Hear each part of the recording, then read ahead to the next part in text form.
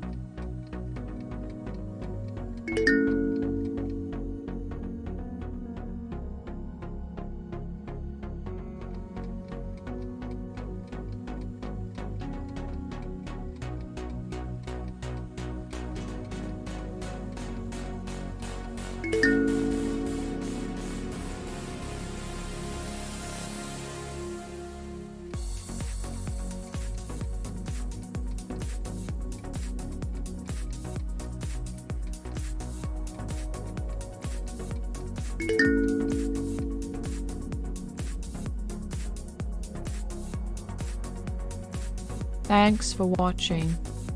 Please subscribe for more videos.